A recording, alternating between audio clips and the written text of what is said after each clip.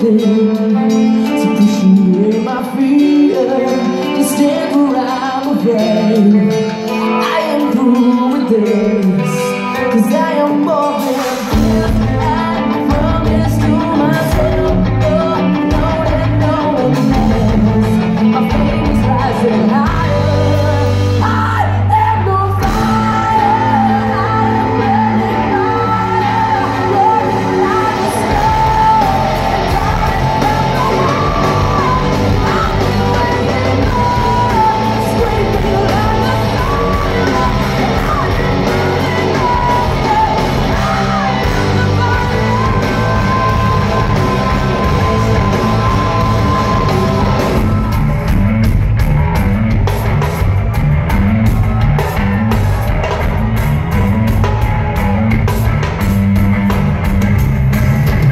I put